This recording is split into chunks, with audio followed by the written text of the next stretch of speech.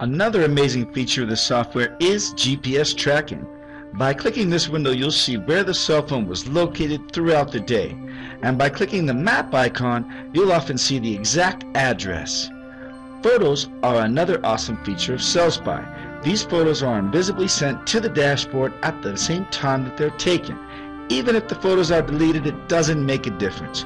You're going to receive a perfect copy of everything every single time. And finally, videos. Videos are no different. Anything captured by the camera will be sent to the reporting dashboard as well. You can download and play them at any time and on any device. Here we have the stealth camera and the stealth microphone. With these powerful features, you can invisibly listen to the cell phone's built-in microphone and typically hear what's happening within 15 feet of the cell phone. Or you can choose to see through the cell phone's built-in camera.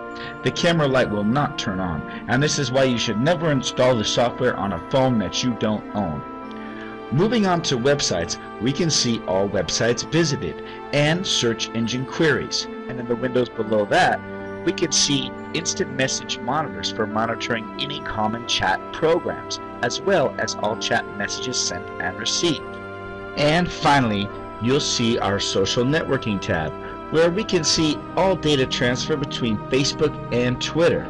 You'll be able to see all messages sent and received, as well as who they're from.